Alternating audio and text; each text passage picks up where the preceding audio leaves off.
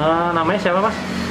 Aku Hasiba Kantoro biasa dipanggil Toro. sih. Toro. Mas Ya. Toro. Mas Toro ini eh, bikin karya gini dari udah berapa lama nih menggeluti bidang seni ini?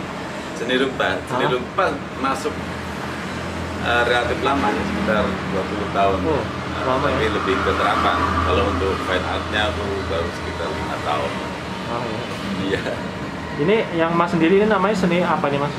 Kalau aku lebih ke mix materialnya, lebih ke eksplorasi materialnya.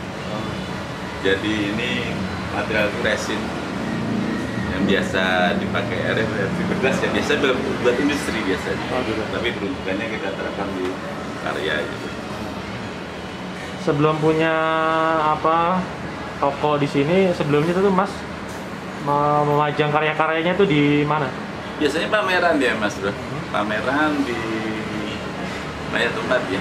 Di Bali Budaya, kemudian di beberapa kota Bandung. Eh, tapi itu temporary ya, apa kita event yang yang Oh, gitu. yang jadinya. Kalau di sini, kalau dia sini, memang memang tetap gitu ya. Terus sekarang nih ngelihat sekarang ada toko begini yang ya ibaratnya ada fasilitas yang difasilitasi ini menurut Mas gimana? Sangat menarik Mas. Eh, jadi kayak kita punya semacam galeri kecil gitu ya. Di mana ketika beberapa audiens beberapa beberapa audiens termasuk eh, eh, eh, kolektor atau teman-teman kita yang akan melihat itu karya itu stay di sini gitu. Misalnya bisa saat kapan pun kita bisa dilihat gitu. Berbeda dengan pameran ketika pameran itu berlangsung sekitar dua minggu setelah dua minggu ya sudah karya kita kita bawa pulang lagi gitu. berarti ada ada harapan nggak Mas?